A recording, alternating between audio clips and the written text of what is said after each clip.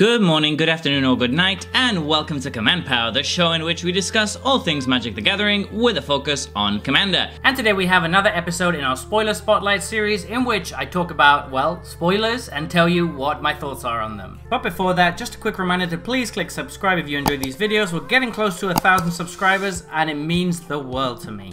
Much appreciated. And today we're going to be talking about Infernal Sovereign. For 4 colorless and 2 black, it's a 6-6 creature demon with flying, trample, skip your draw step, and whenever you play a land or cast a spell, you draw a card and you lose 1 life. So this is really similar to Null Profusion and Recycle, two cards that we've already had in the past that are enchantments that cost 6 mana and allow you to draw a card whenever you play a card, but you also skip your draw step and have a maximum hand size of 2. So people have been been quick to dismiss this card online. I've seen a lot of negative talk, but I actually think that this is quite a bit better than both of those cards, which can be decent in the right strategy. So this is obviously going to be at its best in a combo deck. This is a really, really great way to filter through your deck. If you're playing stuff that's fairly cheap, or you have ways to bounce zero mana cards to your hand, which you can do in a few different strategies, then this can basically allow you to draw a ton of cards. It is a bit unfortunate that you're losing one life when it does so, so that is a downside compared to the other two. But even so, this can still really allow you you to go off in the mid-turns of a game, and the fact that it triggers on lands as well means that it's much harder to completely run out of gas. It also comes with a 6-6 flying body, so you're actually adding to the board when you're playing this, which can't be said about the other two cards. That is actually a not insignificant downside. Tapping out to play a 6-mana enchantment that requires you to do other things to do anything at all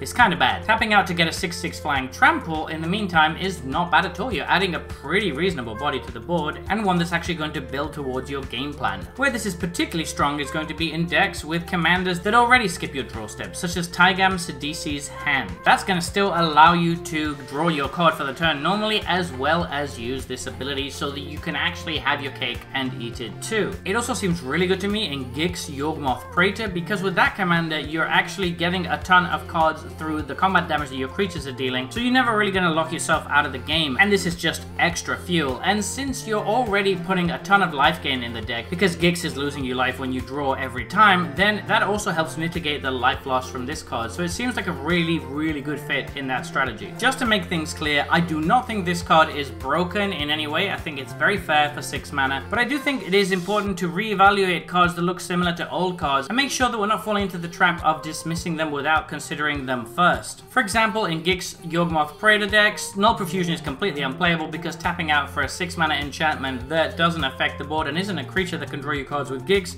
is really bad. However, playing a big flying trampler that is almost certainly going to be able to get through for damage is really good, especially when it comes with that extra upside. So yeah, in the right deck, I can see this being really strong, and I would definitely give it a try if you have a deck where you think it might fit. So there you have it. Those have been my thoughts on this new spoiler. What do you think about this card? Please let me know in the comment section below. I read all comments and respond to all of them too. And if you enjoyed this video, don't forget to click like or subscribe. It really helps the channel. And until next time, take care. Woo!